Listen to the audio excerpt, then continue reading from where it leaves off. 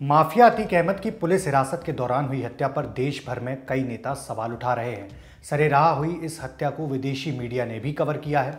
अधिकतर विदेशी मीडिया संस्थानों ने हेडिंग में अतीक अहमद के लिए पूर्व सांसद शब्द का इस्तेमाल किया है। साथ ही लाइव टीवी पर हुई हत्या को हाईलाइट किया है।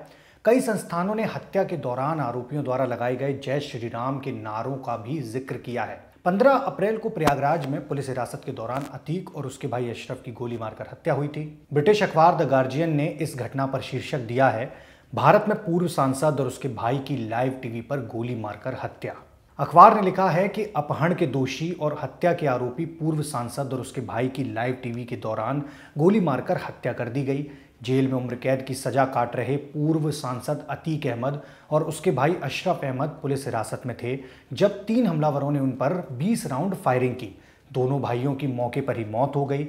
हत्या के आरोपियों ने फायरिंग के तुरंत बाद पुलिस के सामने सरेंडर कर दिया। इसमें से एक ने जय श्री राम का नारा लगाया, जो नारा मुस्लिमों के खिलाफ हिंदू राष्ट्रवादियों के लिए युद्ध घोष बन चुका है। गार्जियन ने अतीक की सुप्रीम कोर्ट में दाखिल की गई याचिका का भी ज़िक्र किया, जिसमें उसने अपनी जान को खतरा बताया था। साथ ही लिखा है, उत्तर प्रदेश पुलिस का अपराधियों के एक्स्ट्रा जुडिशियल एनकाउंटर करने में रिकॉर्ड कुख्यात है। इसमें वे दावा करते हैं कि अपराधी ने हिरासत से भागने की कोशिश की या अधिकारियों पर पहले गोली चलाई। पिछले पाँच सालों में उत्तर प्रदेश में 9000 से ज़्यादा पुलिस एनकाउंटर हुए, जिसमें 150 से ज़्यादा लोग मारे गए। जर्मन मीडिया डॉयचे वेले ने शीर्षक दिया है, भारत पूर्व सांसद, उसके भाई की लाइव टीवी पर गोली मारकर हत्या। डीडब्ल्यू ने लिखा है कि पूर्व भारतीय सांसद और उसके भाई की लाइव टीवी पर गोली मारकर हत्या कर दी गई, जब पुलिस उन्हें मेडिकल जाँच के लिए ले जा रही थी। यह हमला उत्तरी शहर प्रयागराज में हुआ है। घटना के टीवी फुटेज में दिखता है कि अपराधी हमले के बाद हिंदू नारे लगा रहे हैं।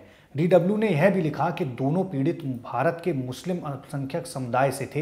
हालाँकि अधिकारियों ने इसकी पुष्टि नहीं की है कि यह हमला किसी संप्रदायवाद से प्रेरित था। आगे यह भी लिखा गया है कि अतीक अहमद और उसका भाई भारत के आपराधिक जगत में पूरी तरह से घुसा हुआ था। अहमद के खिलाफ सौ से ज़्यादा केस दर्ज थे। कतर के मीडिया नेटवर्क अल जजीरा ने शीर्षक दिया है, भारत में पूर्व सांसद अतीक अहमद, उसके भाई की लाइव टीवी पर गोली मारकर हत्या। अल जजीरा ने लिखा है कि किडनैपिंग के आरोपी पूर्व सांसद और उसके भाई की पुलिस हिरासत के दौरान हत्या से उत्तर प्रदेश में कानून व्यवस्था पर सवाल उठ रहे हैं। अतीक अहमद ने पिछले महीने ही भारत की शीर्ष अदालत में याचिका दाखिल कर कहा था कि उसकी जान खतरे में है। उसके वकील विजय मिश्रा ने कहा था कि गोलीबारी अचंभित करने वाली है। यह साफ़ है कि पुलिस उसके क्लाइंट की सुरक्षा करने में फेल रही है। अल जजीरा ने उत्तर प्रदेश में हाल के साल में हुए पुलिस एनकाउंटरों का भी ज़िक्र किया है। इसके मुताबिक 2019 में संयुक्त राष्ट्र संघ यानी यूएन के विशेषज्ञों ने उत्तर प्रदेश में पुलिस एनकाउंटर को लेकर चेताया था। स्टोरी में भारत के राजनेताओं पर दर्ज सैकड़ों केस की भी चर्चा की गई है। आगे लिखा है कि 2017 में बीजेपी की सरकार आने के बाद यूपी के मुख्यमंत्री योगी आदित्यनाथ के खिलाफ केस दर्ज वापस ले लिए गए थे। ब्रिटिश मीडिया बीबीसी ने शीर्षक दिया है अतीक अहमद, पूर्व भारतीय सांसद और उसके भाई की लाइव टीवी पर हत्या। बीबीसी ने खबर में लिखा है कि अतीक अहमद को प्रयागराज में गोली तब मारी गई जब वह पुलिस हिरासत के दौरान पत्रकारों से बात कर रहा था। पिछले दो दशकों से ज़्यादा समय में अतीक अहमद के खिलाफ हत्या, अपहरण और रंगदारी के दर्जनों मामले दर्ज हुए थे।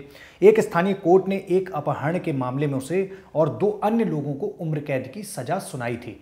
बीबीसी ने अतीक अहमद के बेटे असद की पुलिस एनकाउंटर में हुई मौत का भी ज़िक्र किया है। साथ ही लिखा है कि अतीक ने कुछ दिन पहले पुलिस से अपनी जान के खतरे का दावा किया था। विशेषज्ञों ने सवाल खड़े किए हैं कि मीडिया और पुलिस के सामने कैसे एक व्यक्ति को मारा जा सकता है।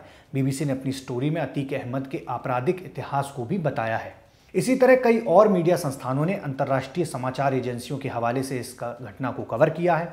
उमेश पाल हत्याकांड मामले में पूछताछ के लिए यूपी पुलिस अतीक को गुजरात की साबरमती जेल से प्रयागराज लेकर आई थी।